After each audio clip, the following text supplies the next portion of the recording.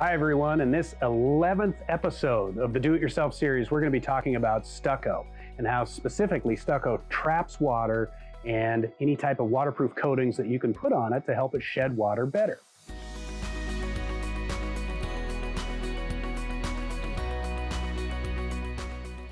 All the spider cracking of the stucco is, is concerning and where you get the where you get the staining across the bottom of the stucco panel Stucco is a drainage system, and so the water that's inside it is trying to get out, and so it's stuck at the bottom. There is no drainage strip or, or weep system, so you can see the you can see the water draining off of that. And then when you look up at this face, you can see again a lot of spider cracking, a lot of staining coming from the bottom of the panel. The white efflorescence, the salt, it's evidence of water coming through the cement, bleeding the salt out, so creating this white staining. So if you see these white white drip marks, white staining, you can just see it going all the way around. That's a that's an indication you have a lot of water going through the system. It's not necessarily an indication that you've got that you've got water damage. It's just that there's water coming through and you need to follow up with that. So kind of a kind of a before and after. This parapet had a lot of spider cracks and was coated with, with, with a fairly simple coating, uh, one step above an exterior paint. If you look back, you can see what it used to look like. So this area, obviously, in this, this elevation as well, the coating stopped at that corner. This is very faded, very cracked. Our cracks are very dark. They're starting to grow moss out of the crack, even back into this bottom of this piece, you can see the dripping coming off of the coming off of the soffit all the way down to the bark. There's a lot of water running off of this face. This stucco probably needs to be restored by now, uh, but we'll we'll do some moisture moisture meter readings of it and see. The stucco coating that we're talking about, there's there's a spectrum. You can start at the low end of the spectrum with an exterior grade latex paint, and then kind of work your way all the way up to a real silicone based coating that they're expensive, but the key with the key with the stucco system is you want these coatings to breathe. If you seal it all up, uh, you'll just sweat your building to death.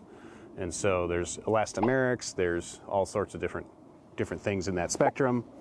Um, 20 bucks a gallon to 350 bucks a gallon. So you decide, and it also depends on how much weather it's getting. If this were on the coast, getting blasted with storms and salt water, I'd err on the on the high side.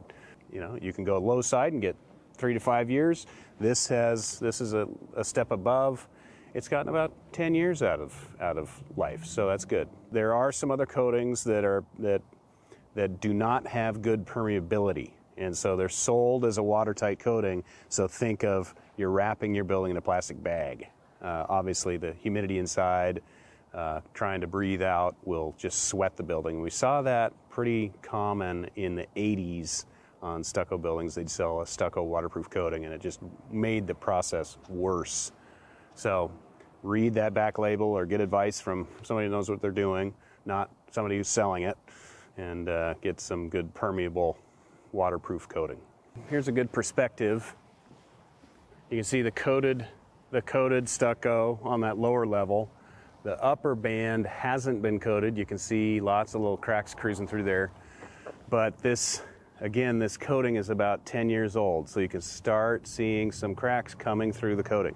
The coating will give you extended life. It's not gonna, it's not gonna fix any wetness under that stucco, but it'll, it'll help deflect the water for a short, a short amount of time. Depending on what we're gonna do now is we're gonna do some moisture probes to see if the sheathing is wet underneath, see if the sheathing is mushy. So when we're probing, when we're sticking that probe in, we'll get a moisture reading as well as a pressure resistance. So if it's mushy, it'll just go, you know, and you'll go right in. So then it's not worth coating. If it's slightly damp, hey man, we can coat it and get some more life out of it. So it's these are business decisions that that you as the building owner need to make. Thanks for watching this episode of Stucco Inspections. In the next episode, we're going to show you how we test for moisture levels in stucco. Be sure to subscribe on YouTube for more helpful tips and tricks for condominiums and commercial buildings, and be sure to click that bell icon to be notified every time we put out additional educational content. Thanks for watching.